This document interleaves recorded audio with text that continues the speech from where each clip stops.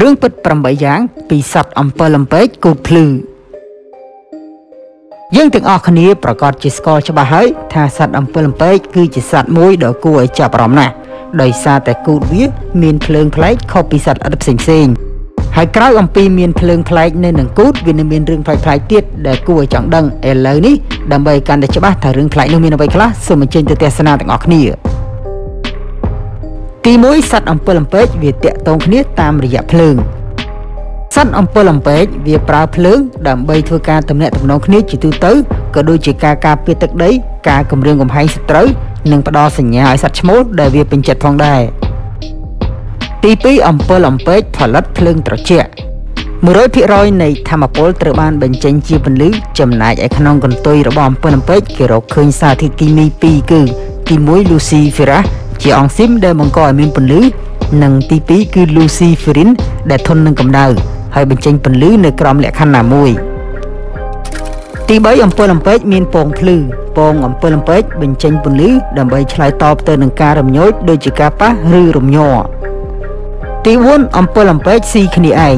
អំពិលអំពែកជាសត្វស៊ីសាច់ជាអាហារកូនដង្កូវរបស់វាស៊ីខ្យងនិងចំណេន ចំណែកឯសត្វពេញវ័យមិនដឹងជាស៊ីអ្វីឲ្យប្រកបទេ ប្រហែលជាស៊ីលំអងរុក្ខជាតិឬមិនស៊ីអ្វីសោះបើតាមការប៉ាន់ស្មានរបស់អ្នកវិទ្យាសាស្ត្រទី5អំពិលអំពែកអាយុខ្លីអំពិលអំពែកពេញវ័យមានអាយុសមល្មមដើម្បីបន្តពូជរួចក៏ស្លាប់ទៅវិញដោយសារតែអាយុខ្លីដូច្នេះមិនពិបាកស៊ីអ្វីទេ ទី6អំពិលអំពែកមាននៅគ្រប់ទ្វីបសត្វល្អិតដូចជាអំពិលអំពែកចូលចិត្តបរិយាកាសក្តៅហើយសើមទៅពួកវាលូតលាស់នៅតំបន់ត្រូពិចនិងចេញមកនៅរដូវក្តៅនៅគ្រប់ទ្វីបទាំងអស់លើកលែងតែអង់តាក់តិចមួយទី7អំពិលអំពែកមានប្រយោជន៍សម្រាប់វិទ្យាសាស្ត្រនិងវិទ្យាសាស្ត្រ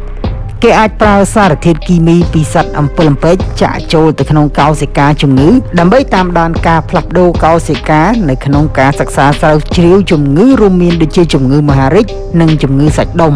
ហើយក្រៅពីនេះធាតុគីមីរបស់វាត្រូវគេយកធ្វើជាឧបករណ៍រាវរោគអេឡិចត្រូនិកបំពាក់ទៅក្នុងយានអវកាសដើម្បីរកមើលជីវិតនៅក្នុងលំហខាងក្រៅ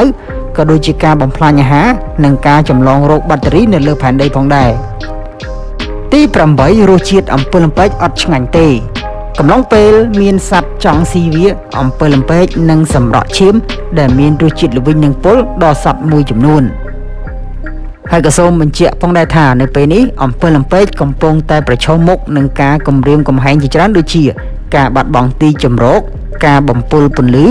ការប្រើប្រាស់ថ្នាំសម្លាប់សត្វល្អិតការប្រែប្រួលអាកាសធាតុគុណភាពទឹកមិនល្អនិងសត្វរាតត្បាតជីវិតវា សូមអរគុណសម្រាប់ការទស្សនាជួបគ្នានៅក្នុងវីដេអូក្រោយបន្តទៀត